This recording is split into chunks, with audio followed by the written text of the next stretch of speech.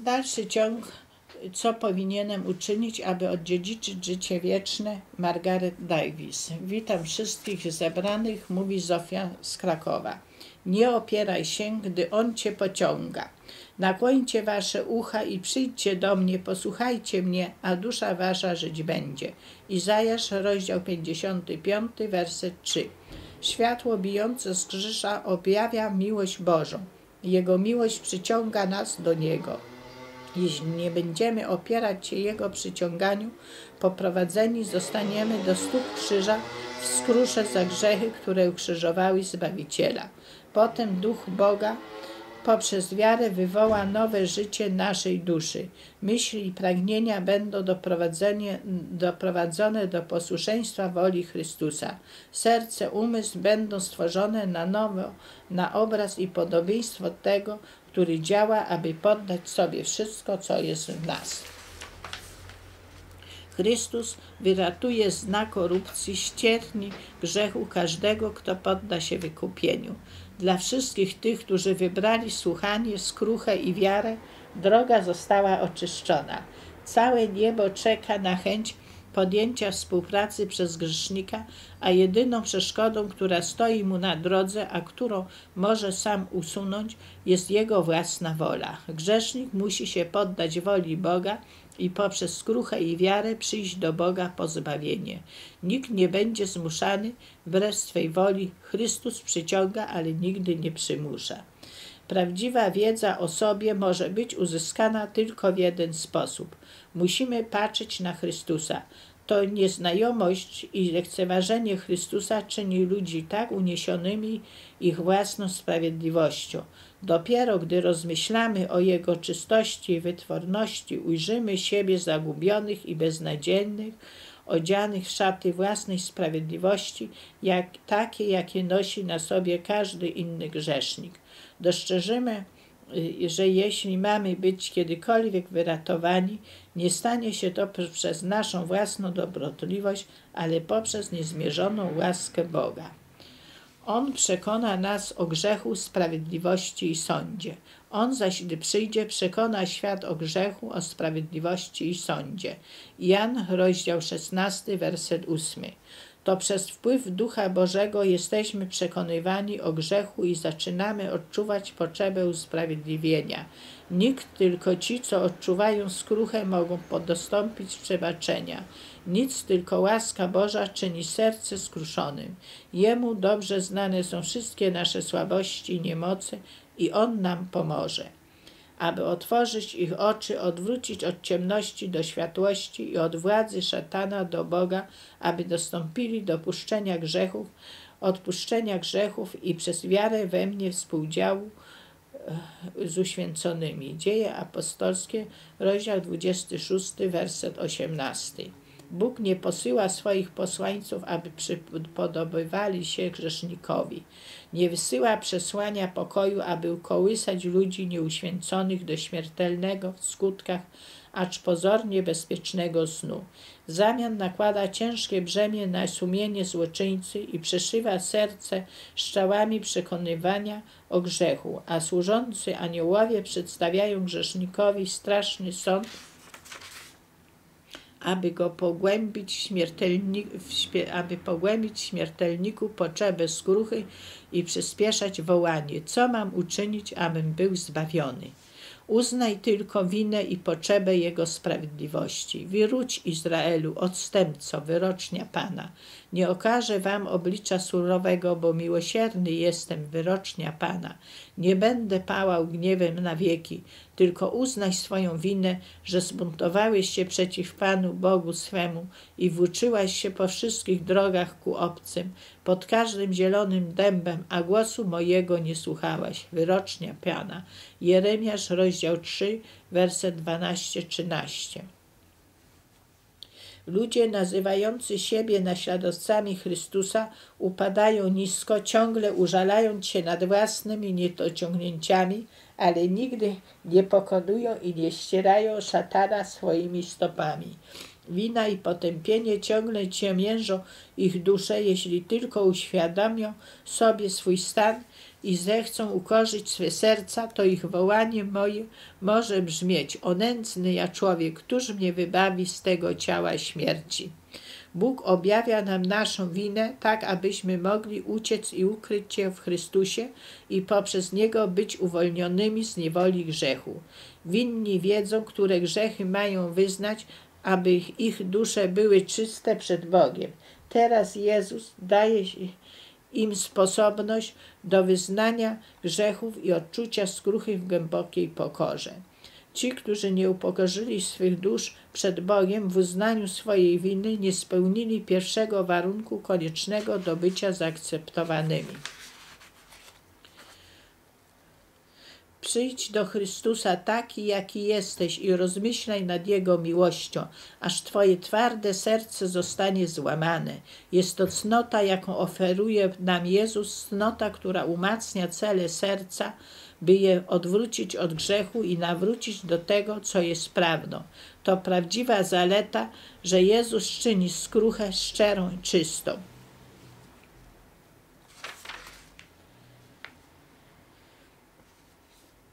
On da ci skruchę. Tego wywyższył Bóg prawicą swoją jako wodza i zbawiciela, aby dać Izraelowi możliwość upamiętania się i odpuszczenia grzechów. Dzieje apostolskie, rozdział 5, werset 31. Poprzez manifestację swojej miłości, poprzez błaganie Jego ducha, zabiega o ludzi, aby się upamiętali, gdyż upamiętanie jest darem Boga, a kogo On ułaskawi, tego najpierw prowadzi do skruchy. Skrucha wywołuje żal za grzechy i odwrócenie się od grzechu. Nie powinniśmy porzucać grzechu, dopóki nie widzimy w pełni jego grzeszności. Tak długo, dopóki nie odwrócimy się od grzechu w sercu, to nie nastąpi prawdziwa zmiana w naszym życiu. Jeśli upokorzy się mój lud, nad którym zostanie wezwane moje imię, i będą błagać i będą szukać mego oblicza, a odwrócą się od swoich złych dróg, ja z nieba wysłucham i przebaczę im grzechy, a kraj ich ocalę. Druga Kronik 7:14. Prawdziwa skrucha poprowadzi człowieka do poniesienia swojej winy i uznania jej bez oszustwa czy hipokryzji. Kiedy Bóg doprowadza nas do skruchy, to nie jest już trudno wyznać i porzucić nasze grzechy i poddać się Mu. Wyznaj i porzuć swoje grzechy i oddaj Mu swoje serce. Nie zazna szczęścia, kto błędy swe ukrywa, kto je wyznaje, porzuca, ten miłosierdzia dostąpi. Księga Przysłów 28:13. Chrystus jest w stanie uchronić do najwyższych granic i zbawić każdego, kto przychodzi do Niego wierze. On oczyści nas z każdego zanieczyszczenia, jeśli Mu na to pozwolimy. A jeśli grzesznik przywrze do swoich grzechów, wtedy nie może być uratowany gdyż sprawiedliwość Chrystusa nie zakrywa żadnego nieodżałowanego grzechu. Jezus nigdy nie zakrywa żadnych naszych grzechów. On chce nas oczyścić ze wszystkich, ale jak może nas oczyścić, jeśli my nie oddajemy Mu ich? Jak może stworzyć nas nowe serca, jeśli nie oddajemy Mu naszych starych serc? Wielu próbuje reform poprzez poprawianie tego czy tamtego złego nawyku, i w ten sposób mają nadzieję na stanie się chrześcijanami, ale zaczynają od złego punktu. Nasze pierwsze dzieło odbywa się w sercu. Synu, daj mi swe serce, dróg moich niech szczegą Twe oczy. Księga Przysłów 23-26. Całe serce musi być poddane Bogu, inaczej żadna zmiana nie może być w nas dokonana, przez którą moglibyśmy być przemienieni na Jego podobieństwo. Z natury jesteśmy wyobcowani od Boga i mocno trzymani w szatańskich wnykach. I może oprzytomnieją i wyrwą się siłę diabła żywcem schwytani przez niego zadani na własną wolę. 2 Tymoteusz 2,26 Bóg pragnie nas uzdrowić, by móc nas uwolnić, lecz skoro wymaga do całkowitej przemiany, odnowienia całej naszej natury, musimy poddać się Bogu całkowicie. Wojna prowadzona przeciwko własnemu ja to największa bitwa, jaka była kiedykolwiek stoczona. Poddanie siebie całościowe, poddanie się woli Boga wymaga zmagaj, ale dusza musi się poddać Bogu, zanim może być odnowiona świętości. Co się tyczy poprzedniego sposobu życia, trzeba porzucić dawnego człowieka, który ulega zepsuciu na skutek zwodniczych rząd, odmawiać, odnawiać się duchem waszym myśleniu i przyoblec człowieka nowego, stworzonego na podobieństwo Boga, sprawiedliwości w prawdziwej świętości. Efezjan 4, 22, 24. Chrześcijańskie życie to nie modyfikacja czy ulepszanie starego, ale przemiana natury. Musi nastąpić śmierć dla własnego ja i grzechu i narodzić się na nowe życie. Tak i wy rozumiecie, że umarliście dla grzechu, żyjecie zaś dla Boga w Chrystusie Jezusie. Rzymian, rozdział 6, werset 11. Co to znaczy być umarłym dla własnego ja i grzechu i zacząć żyć dla Boga? Jeśli umarliśmy dla własnego ja i grzechu, oddaliśmy nasze prawa do egoizmu i światowych porządliwości.